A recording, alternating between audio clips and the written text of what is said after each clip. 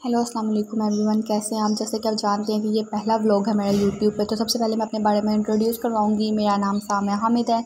मैं बीएस कर रही हूँ from UVAS university of veterinary and animal sciences जैसा कि नाम से पता चल रहा है कि ये जानवरों की यूनिवर्सिटी है, लेकिन यहाँ जानवर नहीं पढ़ते। यहाँ बस जानवरों का इलाज होता है। सो आज छुट्टियों के बाद पहला दिन है और अब हम जा रहे हैं धूप से बचने के लिए लाइब्रेरी में, क्योंकि एक लाइब्रेरी है जो इस मौसम में हर वक्त ठंडी रहती है। सो हम बस जल्दी से लाइब्रेरी की तरफ़ जाएँगे और हमें पढ़ना भी है क्योंकि हमारे फाइनल साइड और ये बस हम भागते हुए लाइब्रेरी की तरफ़ जा रहे हैं। सारे इधर उधर हो जाओ, बस हमें फटाफट लाइब्रेरी पहुँचना है और ये बस हम सबको धक्के धुक्के मार के ऊपर जा रहे हैं और बस ये पहुँच गए। तो सीढ़ियाँ ही ख़त्म नहीं होती। बस हम पहुँच गए। हमारी यूनिवर्सिटी की सबसे बड़ी बात ये है कि ये हर जगह से खुली हुई है। इनमें छाँव वाली कोई जगह ही नहीं है और बस हम ये पहुँच गए हैं लाइब्रेरी में। लाइब्रेरी में पहुँचने के बाद आप जैसे कि देख रहे हैं, सब पढ़ रहे हैं, सिवाय मेरे ने कमी की, हालाँकि मुझे भी पढ़ना चाहिए, लेकिन नहीं, मुझे तो व्लॉग बनाना है, उसके बाद हम लोग जाएँगे अपनी पहली क्लास लेने।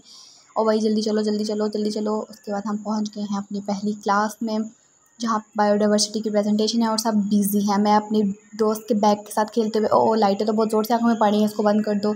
उसके बाद अपने दोस्तों के साथ थोड़ा बहुत हँसी मज़ा करते हुए, डिशू डिशू।